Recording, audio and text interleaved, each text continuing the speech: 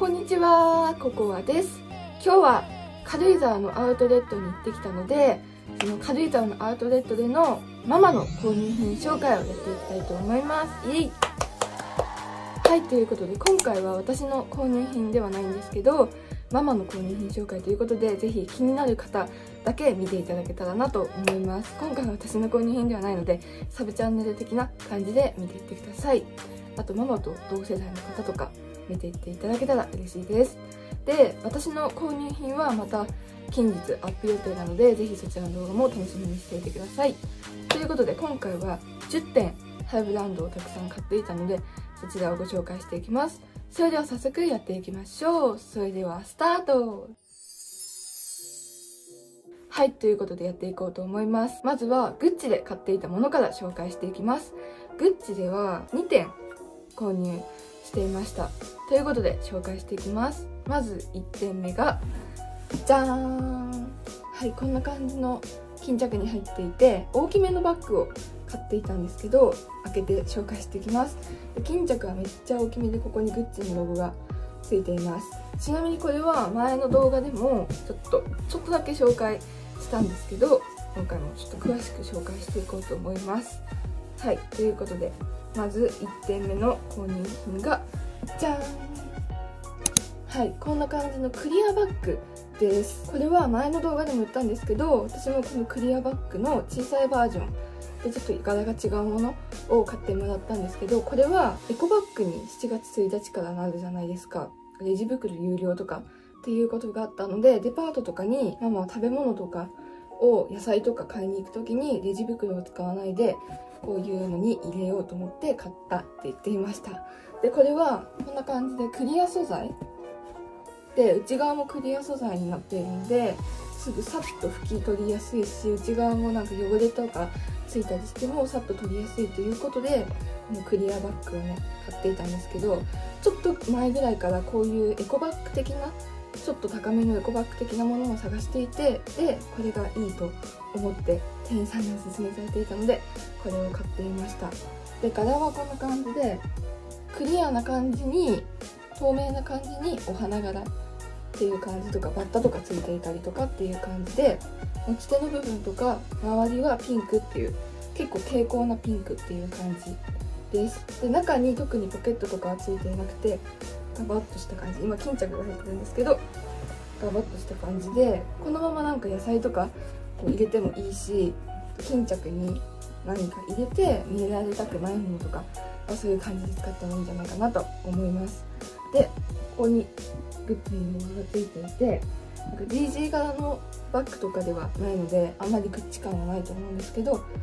れがなんか可愛いと言っていたので買っていました。ちなみにこれが大体10万円ぐらいだったんですけどめちゃめちゃ大きめのバッグで街とかもたくさんあるので野菜とかたくさん買っても入るバッグになっています。で型崩れとかもしないし持ち歩きやすそうっていう感じでこれを買っていました。ちなみにこの柄と全く同じワンピースをねこの2着持っているんですけどそれと合わせても可愛いと言っていたのでこれを買っていたと思います。はいということでまず1点目の購入品はこんな感じのクリアバッグでした。もうこれは探していてでこれから使おうと思って買っていたバッグです。ということでそれでは次。はいということで続いてグッチでの購入品。2点目。2点目はじゃーん。はいこんな感じのワンピースです。でこれはこの袖の部分とかサイドの部分に両サイドにグッチのラインが入っていて生地は布というよりポリエステルみたいな感じの生地っ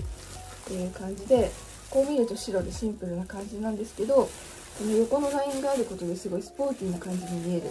ワンピースになっています。生地とかは結構きれいめな感じなんですけどこのラインがあることでスポーティーな感じに見えてスニーカーとかと合わせてもいいし普通にもうちょっときれいめな感じにせたい時だったらサンダルとかに合わせても可愛いワンピースになっています。で後ろがこんな感じでファスナーになっていて形はストンとした感じで台形っぽい感じ。で膝上ぐらいの丈になっています。でこれがだいたい10万円ぐらいか。でこのラインが緑と赤っていう感じになっています。着方はこのままストンと着ても可愛いんですけどベルトをして着てあげたりとか下はパンツで合わせたりとかしても可愛いしワンピースとして着ても可愛い。いろんな着方ができるワンピースになっています。はいということで2点目の購入品はこんな感じのワンピースでした。はいということでこんな感じでグッチでの購入品2点は以上になるんですけど次はフェラガモで買っていたものをご紹介していきます。フェラガモでは4点買っていました。私も1点だけフェラガモで買ったんですけどその購入品はまた別でやろうと思っているので楽しみにしていてください。はいということでそれではフェラガモ1点目紹介していきます。フェラガモでの購入品1点目はじゃーんはいこんな感じ。こんな感じの靴を買っていました。ということで開けていきます。で箱は赤で結構細めの箱という感じになっています。これはもうこれからの季節はもちろんだし秋とかにも春とかにも履ける靴を買っていました。それでは開けていきます。はい。開けるとこんな感じで巾着に入っているんですけど開けていきます。巾着はこんな感じでここにフェラガモのロゴがあって1足ずつ入れるっていう感じじゃなくて中でポケットがついていて2つに分かれている感じになっています。フェラガモでの1点目の購入品はじゃーんじゃーん。はいということでこんな感じの靴になっています。これは私がめちゃめちゃ可愛いって言っておすすめした靴になっているんですけどこんな感じでここにリボンがついていてめっちゃ大きいリボンがついていてめっちゃキラキラした感じの靴っていう感じなんですけどこう見ると普通の靴なんですけど後ろがない感じでサンダルっぽく履けて夏とかに履くと楽ちんな靴になっています。でこれはシルバーとピンクが行った時はあってめっちゃ迷ってたんですけど私はピンクがいいと思ったのでママにピンクをおすすめしてピンクを買っていました。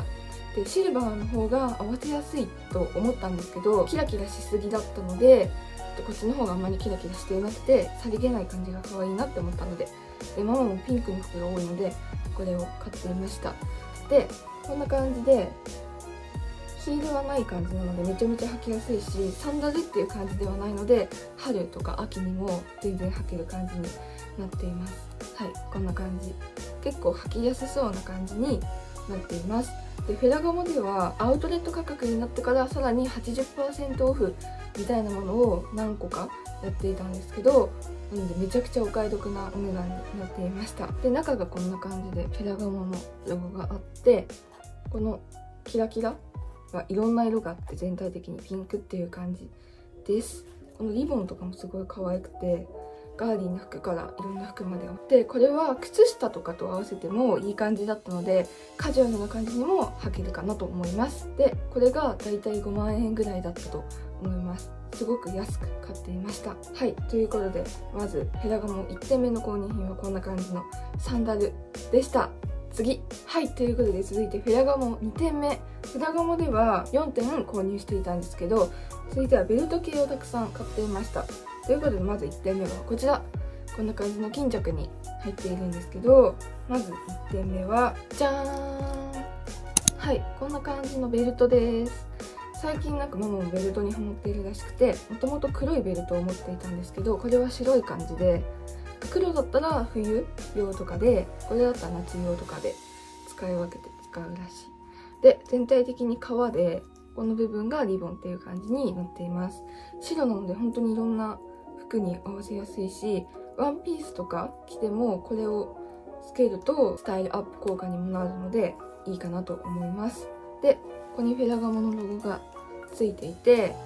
これは夏用に買っていました。でちょっと細めのベルトっていう感じになっています。これはちょっとお値段忘れちゃったんですけどはい。2点目の購入品はこんな感じでした。次。はいということで続いて3点目。3点目はこちら。じゃん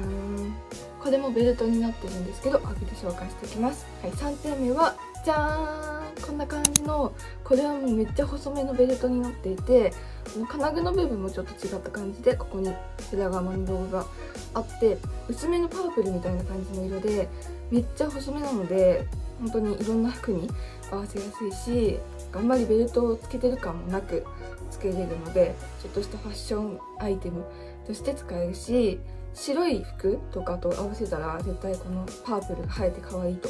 思います。であとピンクとかでも意外と合うんじゃないかなと思います。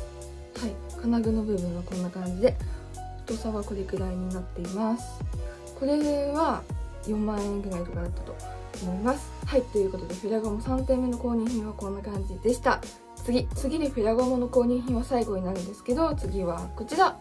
じゃーんこんな感じの巾着に入っているので開けて紹介していきます。はい4点目の購入品はこちら。じゃーん。これは白いベルトを紹介したんですけどそれと全く同じ形の色違いになっています。でこれはちょっと薄めのピンクみたいな感じの色。で全くデザインは同じなんですけどこの薄ピンクもピンクの洋服とかと合わせると可愛いってママが言っていたんですけどこれも色違いで買っていました。で白とピンクは全く同じお値段っていう感じでこんな感じの色。で結構大人っぽい落ち着いた感じのピンクになっています。はいということで今回ベルトを3点も買っていたんですけどペラガモでの購入品はこんな感じになっています。はいということで次最後になるんですけどプラダで買っていたものをご紹介していきます。プラダでは4点購入していました。それでは紹介していきます。まず1点目のプラダでの購入品はじゃーん。はいこんな感じの T シャツです。これはこういう感じの黒いここに大きくプラダって書いてある T シャツになっているんですけどこんな感じのロゴになっています。お花とかの柄で黒地にネイビーっぽい感じのロゴになっているんですけどロゴドーンっていう感じだったらちょっと目立って嫌って言っていたんですけどこれの全く同じデザインの白があって白だとそのロゴが目立つ感じだったのでこの黒を購入していました。でこれがだいたい3万円ぐらいとかですごく安くなっていたと思います。ちなみにこれは大きい感じのロゴなんですけどこの胸の部分に小さいプラダっていう全く同じロゴがあったんですけどママはこれを買っていました。で後ろがこんな感じで無地っていう感じで黒い T シャツなんですけどちょっとドレッシーっぽいスカートとかと合わせてもカジュアルとドレッシーでドレッシーになりすぎず普段使いしやすいと言っていたのでこれを買っていました。で黒い T シャツがちょっと少なかったのでこれを買っていたと思うんですけどここの部分は刺繍っていう感じでこの部分が小さい方がちょっと安かったと思います。はいということでプラダでのまず1点目の購入品はこんな感じでした。次。はいということで続いてプラダ2点目の購入品はじゃーん。はいこんな感じのスカートでプリーツスカートになっています。これはこういう柄でバラみたいな感じなんですけどめっちゃ細めのプリーツっていう感じでこれは夏用かなと思います。でこれもすごい安くなっていて3万円とか4万円ぐらいで買っていたんですけどこれも結構安めだったので普段スーパーとか行く時に着る服らしいです。はい。こんな感じでピンクでちょっと丈は短めなんですけどこういう柄になっています。でここでファスナーで着る感じポリエステルっぽい感じですごい裏地とかもついてなくて薄手なのででも透けない感じになっているので夏とかに涼しく着られていいと思います。次続いてはこちら。じゃーん。ちょっとハンガーがね別のブランドになっているんですけどこんな感じのスカートです。これはこういう感じでレースっぽい感じであんまりプラダ感もないしロゴとかもついていない感じなんですけど白いスカートでシンプルな感じ。ででもなんか形がすごく試着していたんですけど可愛くて買っていました。白だからすごいいろんな服に使いやすいし夏に1枚白は持っておくといいかなと思います。で普通の白って感じじゃなくてこういう感じで透け感がある感じになっているしめっちゃ可愛いと思います。でこれもすごい安くてピンクのスカートと同じぐらいになっていました。はいこんな感じです。でこんな感じでこれもプラダで買っていたものになるんですけど最初に紹介したピンクのスカートと全く同じデザインの色違いと形違い。でこれはフレアっぽい感じ。でピンクのものはプリーツっぽい感じになっています。私もそうなんですけどなんか迷ったりしたものとかすごい気に入ったものは2着色違いとか形違いで買うんですけどこれもそういう感じになっていてここがゴムになっているのでウエストとか気にせずかけるたくさん食べれるのでこれは買っていました。で白地にすごいふわっとしたフレア感があってちょっと透け感があるので中は何か履かないといけないんですけどこういう感じでお花柄バラみたいな感じになっています。はいということでプラダでの購入品と軽井沢のアートレットでの購入品紹介は以上です。はいということで今回は軽井沢のアウトレットでのママの購入品紹介ということでやってみたんですけどいかがだったでしょうか？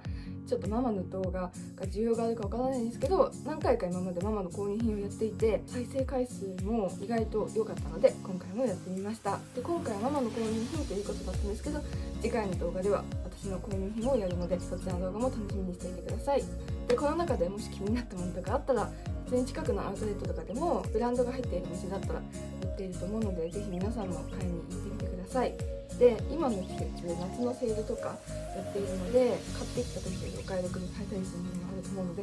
ぜひ気になったものとかあったら真似して買ってみてください。ということでこの動画が皆さんの参考になったら嬉しいです。ということで動画を最後までご視聴いただきありがとうございました。ぜひ次回の動画も楽しみにしていてください。ではバイバーイ。